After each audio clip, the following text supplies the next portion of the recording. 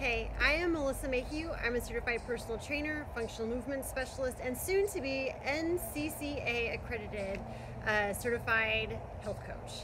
I put together this program because right now is a time when gym attendance really starts to starts to decline. We get so busy this time of year, and so I wanted to make it as easy as possible for you to stay on track or to get on track uh, so you won't have to start all over again when January comes around.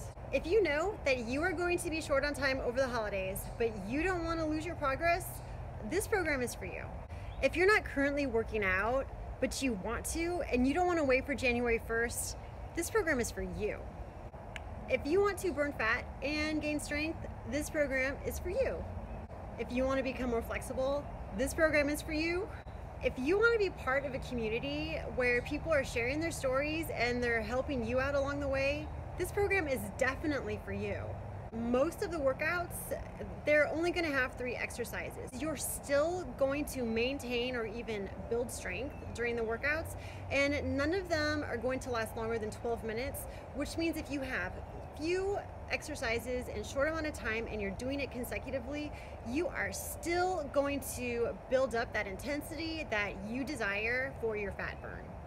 Just like Hot for Halloween, there will be two separate tracks that you can join on. You can do the more advanced track and you can do the more foundational track, which is lower intensity, less jumping, and more simple movements. So no matter where you are in your fitness journey, you have a place. Also in this program is the, the weekly mobility and flexibility routines, which honestly everyone loves those and there's no way I would ever exclude that from any program that I ever do.